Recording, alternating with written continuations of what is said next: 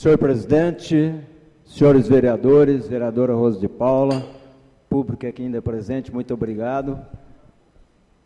Ouvintes da Rádio Clube Tanabi e aqueles que acompanham pela rede social.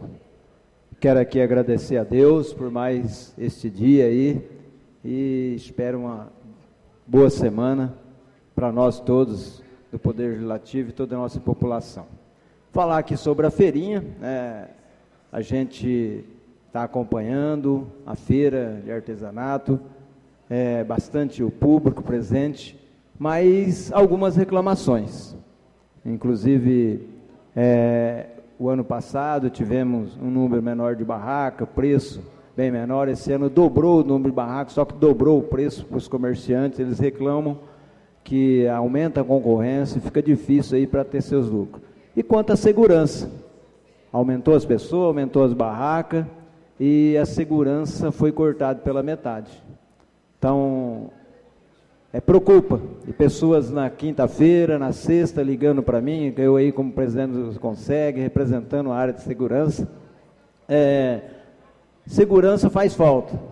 E eu fiz pedido nesta casa para que o prefeito, igual os prefeitos anterior, pelo menos durante a semana da, da cultura, colocasse em ação a atividade delegada.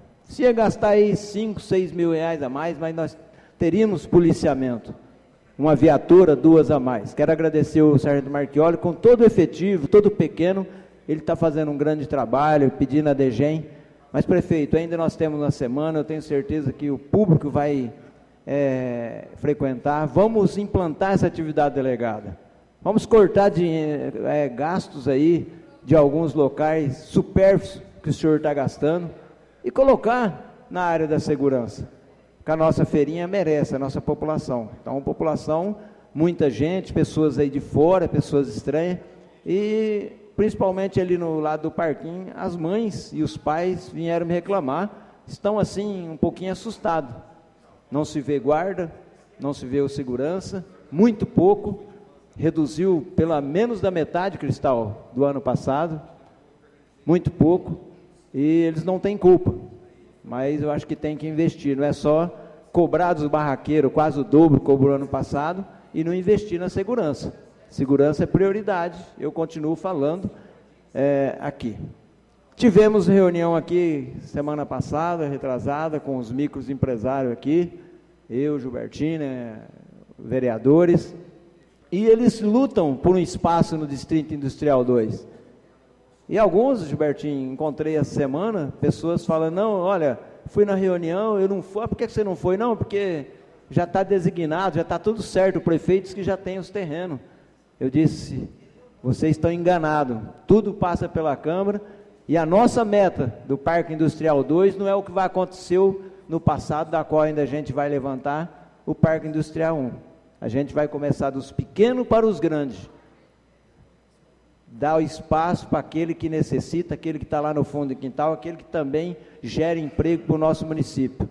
Então, esse é a meta desses vereadores, desta casa. Se alguém prometeu o terreno para você, desacredita, não existe isso aí. Foi o tempo que o prefeito decretava um quarteirão, dois, dez mil metros, por vínculo político. Agora acabou, o Parque Industrial tem que passar pela Câmara. E a Câmara tem a grande responsabilidade de dar aquilo que vocês merecem, que o microempresário merece. Então, vocês podem ficar tranquilos que esta casa vai lutar melhoria para o Parque Industrial. Falar aqui sobre o orçamento, né? Orçamento que nós veio para esta casa, nós lemos, agora vamos votar. E eu vou continuar lutando. Inclusive fiz uma matéria nesse final de semana, já mandei até ao nível do advogado do Consegue, sobre segurança.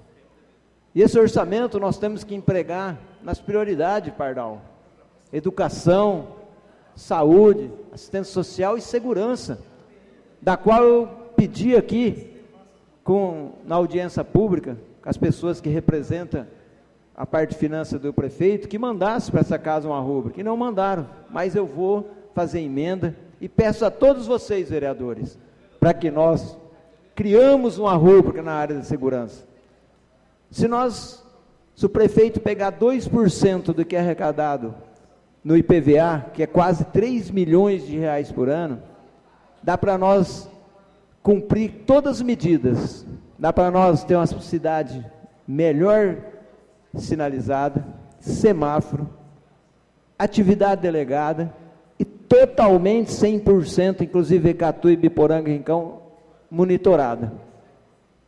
Mas é só ter vontade, Cristal, e nós temos que lutar por essa rúbrica na segurança.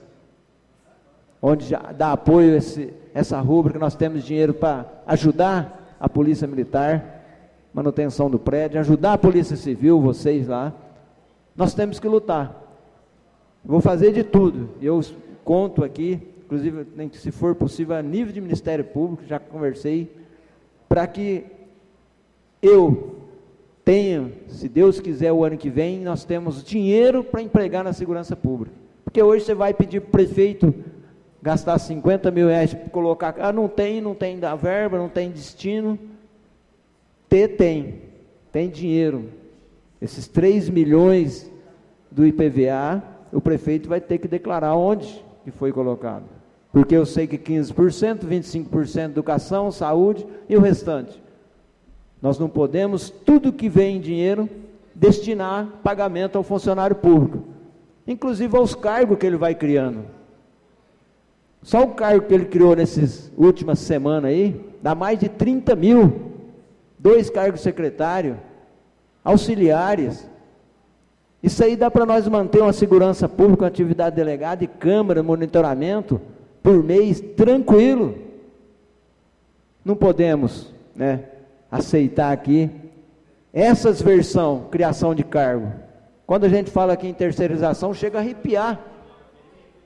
Então, senhor prefeito, vamos atender a nossa segurança pública.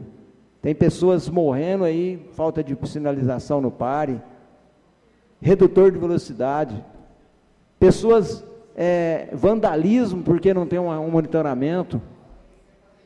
Então nós precisamos realmente prezar pela segurança pública. E nesse orçamento nós temos que aprovar. Marcos Paulo já falou aqui sobre a CPI para a falta d'água. Esse final de semana, inclusive, mostrei para o presidente, passei por vários grupos, a falta d'água continua.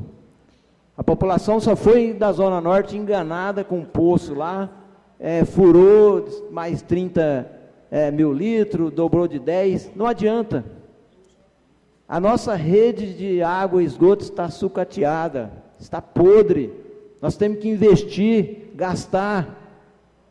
Não adianta você, de 10 mil litros d'água, passar para 30 mil litros. Onde há vazão tem que ter pressão. Como que vai pressionar uma rede que tinha com 10 mil, com 30, numa rede precária? Nós vamos ter a perca de carga. São duas, três coisas que faz com a água chega até a torneira. É a vazão, a pressão e a perca de carga. Eu não posso fazer, é, condicionar uma pressão a uma alta vazão, vai ter perca de carga, vai ter estourar toda a rede. Então nós precisamos investir. Pode furar o poço 500 mil metros, não adianta. Nós temos que recondicionar, reconstruir essa rede. Para isso nós temos que gastar. Mas nós vamos continuar lutando. Essa CPI, eu já disse que não é com o intuito de punir, de caçar ninguém, mas seja agora na gestão Noraer, seja no passado, quem errou, se depender de nós, doa quem doer, vai pagar caro.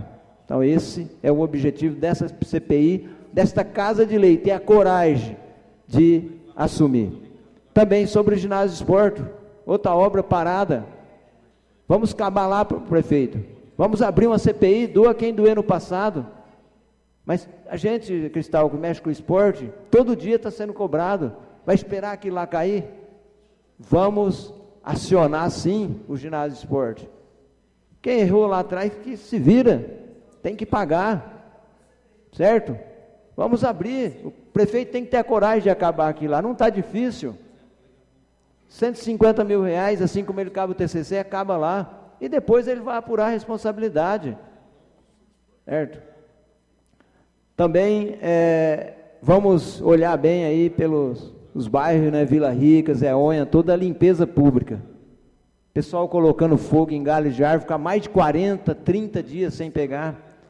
Iluminação pública, tem um poste aqui na, no bar, no, na Praça do Carabina, está caindo, está podre há 40 dias. Eu tirei umas 10 fotos, já mandei, inclusive, para a assessoria do prefeito, inclusive para a esposa no, no WhatsApp do prefeito, e ninguém toma providência. Então nós temos aqui para cobrar isso aí. E a Câmara dos Bairros é mais uma conquista nossa. Vamos trabalhar, chegar próximo da população. E mais uma vez, reforçar aqui que a creche abra até às seis horas para entregar as crianças. Então, uma boa noite a todos e a gente deseja aí uma boa semana.